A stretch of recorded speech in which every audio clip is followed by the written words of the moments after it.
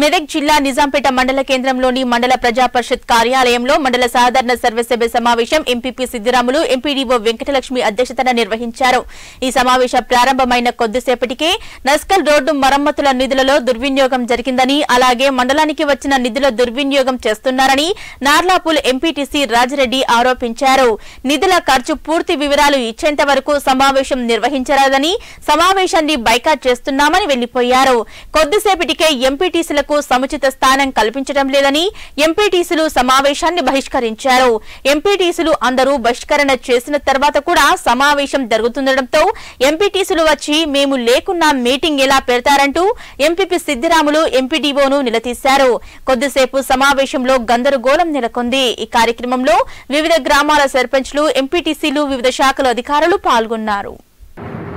తర్వాత మండలములకు సంబంధించినటువంటి నిధుల ఇన్ఫర్మేషన్ కూడా తమకు అందుతలేదని వాళ్ళు ఇచ్చారు.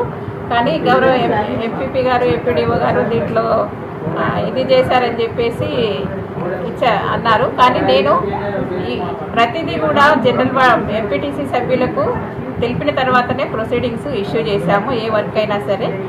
ఇంకొకటి గౌరవ సభ్యులకు ఏ విషయమైనా సరే మేము పంచాయతీ సెక్రటరీలకు గౌరవ ఎంపీటీసీ సభ్యులకు సర్పంచ్లకు ఈ మండల ఆఫీస్లో నిధులు చాలా దుర్వినియోగం అయినందున నేను గట్టిగా అడిగినందుకు నాకు ప్రొసీడింగ్ కూడా ఆపేసిర్రు.